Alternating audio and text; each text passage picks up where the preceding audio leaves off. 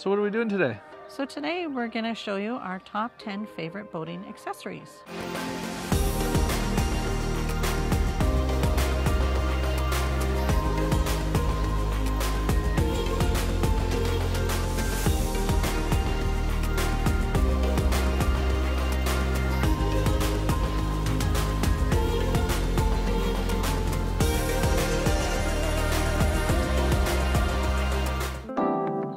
These accessories, you know, they're um, must-haves. Probably not. Not must-haves. No, no. But you know, probably ones that'll make the boating experience a lot better than it would be without them. What do you think, cost-wise? Um, you know, some things are $20 items, some things might be $100 items, right? It's Okay, so maybe two hundred. yeah, maybe Relatively yeah. inexpensive items, Yeah. but they are they they are items that we've determined that really have improved our experience here on the water, and um, if we had to if we had to do it again, we would still buy them again. And some of them are the smallest things that make the huge difference. Let's move on to number ten. So number 10 on our list is a sunshade. Yeah, so this is the sunshade right here, and uh, so it's made um, it's made from a material. I think it's like a PVC material called uh, or something something like that. It has some Keder strips at the top here, which fit into the awning rail strips, and it's uh, you know it blocks out most a good chunk of the light here. Mainly in the summertime, you end up with uh, inevitably uh, at certain points of the day, uh, especially late in the day on hot days, where you you just want to get out of a little bit of that sun. And having that where you can put it where you need it really, really helps. Now, uh, with our curtains um, on the enclosure around the whole perimeter of the back, we have the awning rail strips mounted just underneath the edge of the roof here. Depending on which way the sun's coming from, we can actually just slide that in and position it at any position um, around the entire back of the boat. Or as much as we think we want lots of sun, sometimes we do need a little bit of shade. Yeah. So even if we're at anchor and we're just swinging on the hook, uh, if we don't have our stern line out, the sunshade is really handy because then, like Matt said, we can actually move it from the different sides around the aft roof here and block out the sun, which is really nice. The one added benefit we get is uh, we're able to project from a, a, a small little video projector and we're able to project a movie on there. So on a you know nice hot summer evening, sit out on the back deck here and watch our favorite movie. And that wraps up our number 10 So our number nine pick is Loctite containers. And what we like about them is, um, well, they lock tight. You put your things in, they lock tight. Um, so when you're have these things in the fridge, you're in rough seas, they tip over. You don't have to be worried about things leaking. Like if you just put uh, something in a bowl with some saran wrap over in the fridge, of course, you're going to have a huge mess to deal with. What's nice about these, uh, it was a package I got from, I think it was Walmart, and it comes with uh, three round ones, and then it has, um, there's kind of three kind of rectangle ones. So they can stack within each other as well. So that way, uh, for storage, you're not taking up a whole lot of space. So this one here has, um, there's three containers altogether in this one, and then we have three of the rectangle ones. And I didn't think that they would be as good as what I've discovered them to be. I actually, um, I mean, this is all I pretty much use all the time now on the boat. good price for one of our top accessories. Yeah. Okay, so our number eight pick is these guys right here that hold the paddles, and we have pipe pole as well up here. So we use these for holding mostly paddles up there, and um, you know, with having well, there's three paddles, uh, um, you know, two kayak and one paddleboard. You know, with that that much stuff plus a pipe pole or two, that really adds up, and there's, it's a lot of volume. So um, having somewhere to store this stuff and not just you know laying it around or leaning it up against something, it does really help. Now these um, these I actually bought at Canadian Tire and they're just in the garage section. Um, so one of the nice things about these is there's no metal on them. Um, they're kind of a cam lock sort of rubber piece that you basically just push it in and then it just locks into place. And um, and I just more, mounted them on a 90 degree angle so they're not pointing right down. And uh, they work really, really good. I put them on there probably about five years ago, and uh, haven't had an issue. And they really just, you know, clean up the whole space, keep it keep it really organized, and just lock right in. You know, And I think they're designed for for like for at home use for like brooms or or Yeah. you know shovels those kind of things. yeah. So that wraps up our number eight pick. So number seven on our list is West Marine Velcro straps.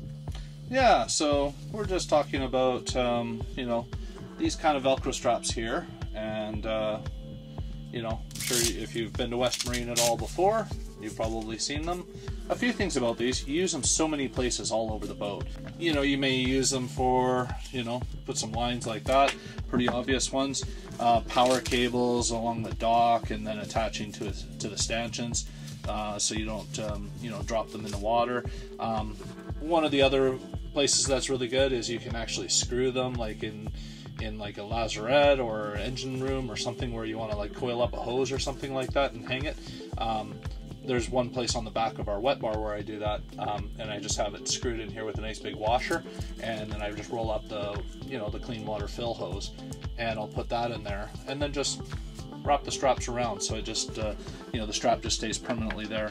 In canada west marine left about 10 years ago. We used to we used to have west marines here and every time i went to the store i'd usually just grab a handful of these and you know whether i was buying something or not. So i ended up with quite a few of them. But they really do last a long time like you know probably most of these like this one obviously was in the weather quite a bit pretty pretty faded. And uh, but you know a lot of these things they're going on I would say close to 20 years we've probably had some. well, yeah, 15, yeah, at least Yeah. 15 years or something like that. So um, they, they do have really good UV stabilization. I think because the advertising that's on there probably is why they go they were so cheap. I remember they used to be I think 99 cents each or something like that. So you know you just however many you get in a handful and throw that in the basket. And anyway, if you go to West Marine, you can buy these things non-West Marine and they'll probably cost you a bunch more. But if they say West Marine on, they they're they're probably the best value and use them everywhere. Yeah, good investment. Yeah. So, So our number six favorite boating accessory is these right here. So these are the kayak holders, or you can put paddle boards in them, or they'll actually hold two paddle boards. They really make sure you keep the stuff off the deck. Um, now these ones are made by Magma, not sponsored or anything, but uh, you know there's a number of companies who make them. But the um, the Magma ones, what's really nice is they have these uh, these knobs here that you can loosen them off, and then you just tighten them up and they require no tools. So these can just be loosened off like this, and then you tilt it so you get the right width in here for your kayak or paddleboard, and then you just tighten these back up. And then they're nice and solid. And then if you remove it just like they are now, you just loosen these off.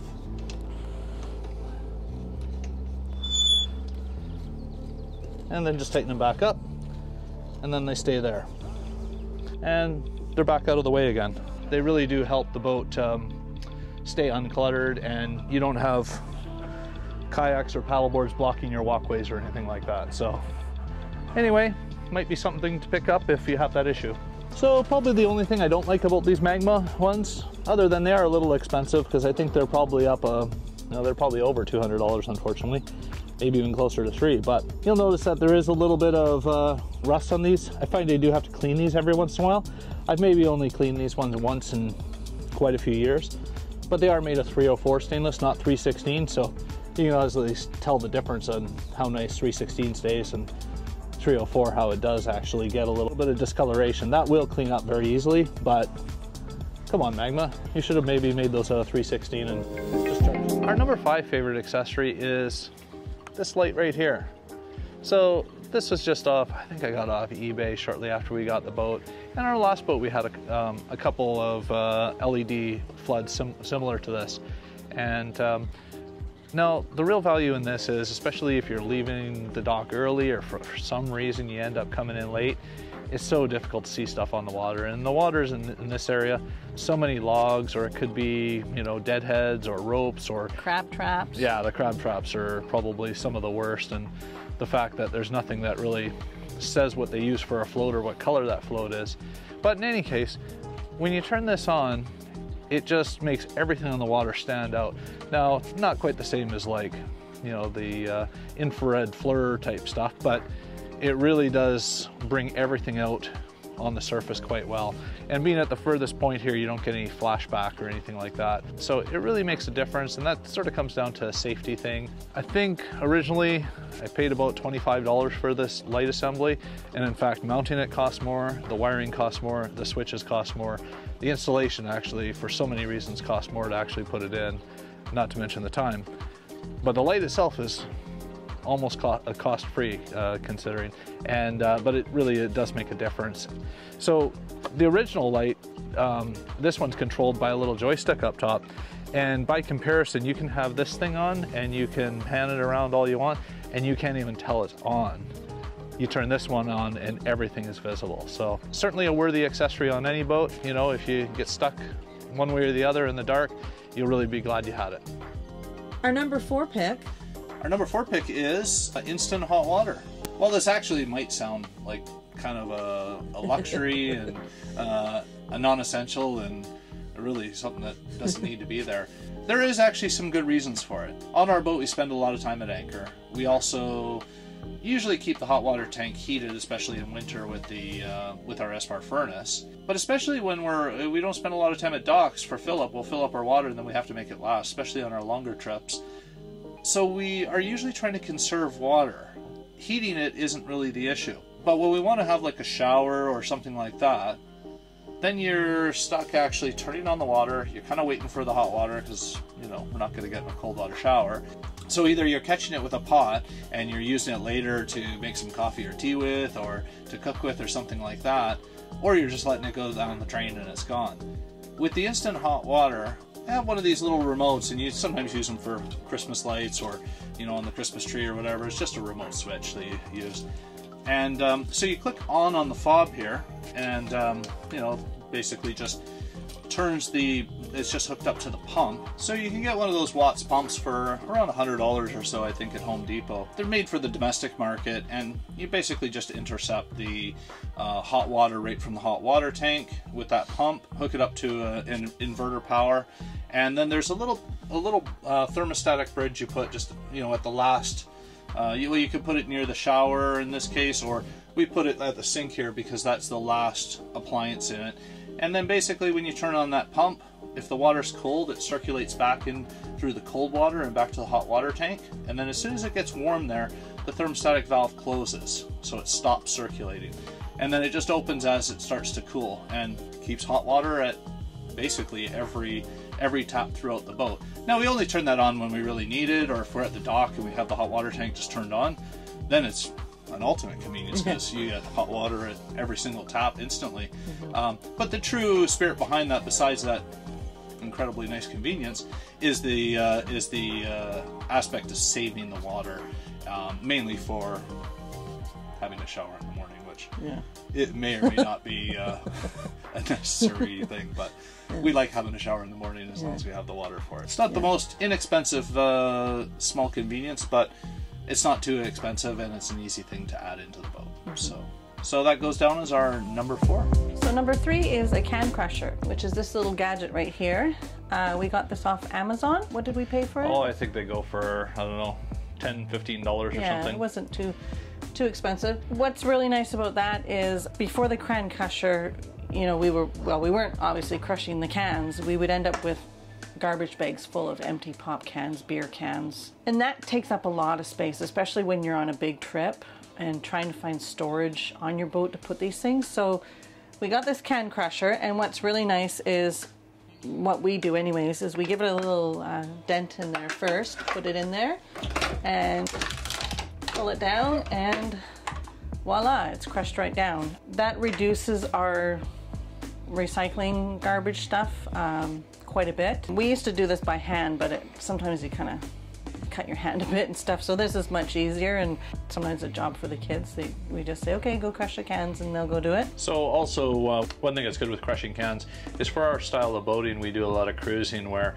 we might not be at a marina where we can get rid of the cans and so trying to reduce its volume and that's really what this is about. Yeah. The old way when we weren't crushing them and you would have a garbage bag, I want to say, you know, one big black garbage bag, you know, when we're kind of storing this stuff, waiting till we get somewhere where we can get rid of this, these kind of recyclables. It's nice if it's a smaller amount and then it's, we're not, you know, moving stuff around all the time trying to find somewhere to store stuff. So number two on our list is the water pressure accumulator. So that's a little bit of a technical item. Um, not too technical, but essentially it is an air tank with like an air bladder that pushes against the water pressure in the domestic water system. So if you're not familiar with it, how it kind of works is when you turn on the pump for the pressurized water for all your faucets, you'll hear that pump run up and then it'll stop. And then when you turn on the water, you'll hear that pump start to run again and it'll cycle. And then as soon as you turn it off, it'll go off.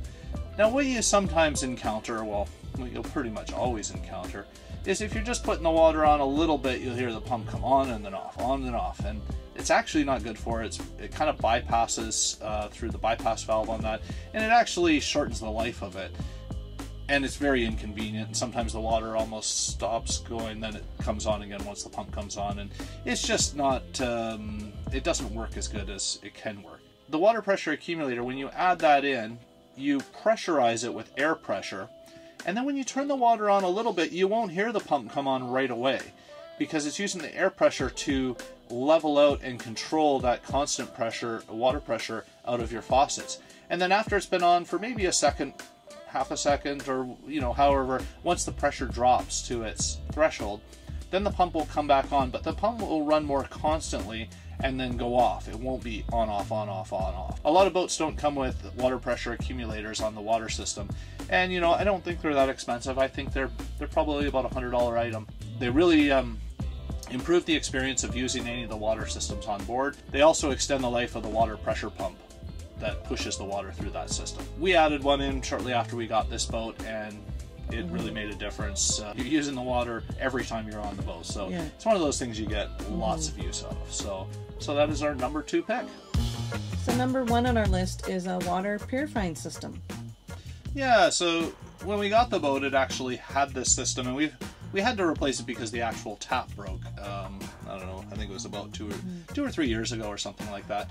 Um, but the rest of the system was still the same, and we actually bu- we actually bought a, another whole kit uh, just to buy the you know the special sort of top that it comes with, and you know we got another filter, and another pressure housing for it, and stuff like that.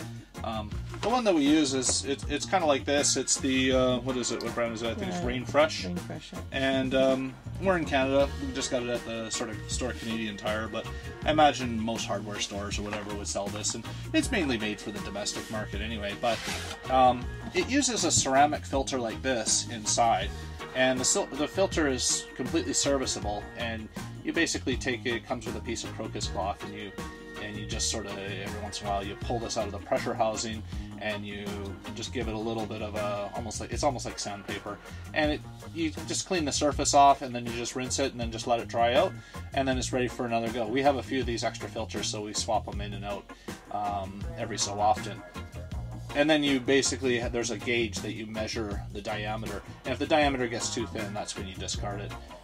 But even the one we still have the one when we bought the boat and it still isn't actually too thin. Um, it does have a charcoal core in it and they encourage you i think to replace these annually um, because that active charcoal i think ends up um, wearing out or doesn't function the way it should anymore or something like that. But a few good things about this this um, this filter filters out five nines, like 99.999% of uh, organic uh, harmful bacteria. Actually, it's 99.999, so five five nines behind the decimal point. You know, so coliform, salmonella, typhoid, um, you know, all those sort of nasties. It will actually take those right out of the water. So if you ever did any water contamination in your tank, this will actually take it. It's a little slow to fill a, fill a cup or something like that because it's literally pushing it through this um, this ceramic filter. but it takes everything out, and and that's huge. You know, that's keeping your water, um, you know, very safe to drink, and also, you know, we don't notice any taste or anything like that in the water. The water tastes perfect. And by having this, it saves us from buying cases of bottled water. cannot stand the plastic bottles. They're just, you know, you end up with just stacks of them. Is the last Well, thing we you- need. You think about like because our old boat we didn't have this system, so Mm-hmm. we were buying bottles of water on our old boat, and you know if each of us are drinking so many a day, you know just that's it's a it's a lot, right? So it's a lot to store in the boat when they're full, and then of course a lot to store in the boat when they're empty. And the large and that larger global concern is Yeah. where do all these plastic bottles really go? Yeah. And and you know, and then there's other things like, eh, you know, if your water sits in those plastic bottles for a long time, is there anything kind of leaching into them? Especially if you leave those plastic bottles in the sun in that water for a while, you, Mm-hmm. you know, the not having plastic bottles is a win. And just having this system where we fill the tank and we drink the water from the tank and it tastes as good as any plastic bottle water, Yeah. It's uh, it's huge, and it certainly w- is probably the thing we use the most every time we come on the boat is drinking the water. you know we're comfortable with drinking the water as Yeah. well right we're not uh, not drinking water because we're not sure It's easy to install. It's just a little tap that's off to the side, and um, you just tap into your existing water under under the sink, and the, the kit comes with I think everything you need to do it. I think it was a hundred or maybe a little over like 129 dollars Canadian, so like. Twenty-five dollars US. anyway, um, we really, really recommend this as uh, as something um, something to add onto your boat. yeah So that wraps up our favorite top 10 boating accessories. So we hope you've enjoyed them. If you have other uh, accessories that you really like, um, please feel free to comment below and let us know so we can check them out. Yeah, please do. I'm sure there's uh, lots of things that we haven't done that we could probably still discover and make our life a little better, and and hopefully these things will, might make your life a little bit better. Yeah. Anyway, thank you for watching, and uh, we'll see you next time. Thanks.